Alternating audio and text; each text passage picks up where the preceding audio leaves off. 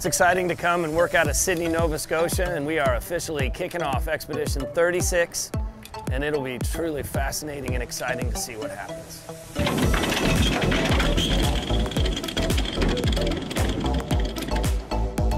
The tracker showed us that white sharks like to visit this area, and so we're following their tracks.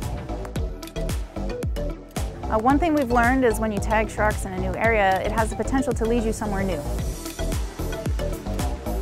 When we capture a shark in one region, like the southeastern United States, and you capture a Hilton or a Lydia, and then they travel 1,500 miles to a place like Cape Breton, Nova Scotia, we have the capacity to chase that data. So any shark that we tag here has the potential to lead us to our next breakthrough. Setting off fish for the first time in a new area, it's, uh, it's always a little tricky, but we have Captain Brett, so it makes you feel a lot more confident and better about it. Last year we were here just about the same time, but we weren't in the same exact spots.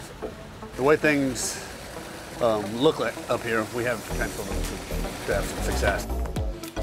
This is the kind of expedition, you know, for me, kind of makes me feel like a kid again. This is proper pioneering of research and exploration in 2019, and it's going to be fascinating to see what happens out here.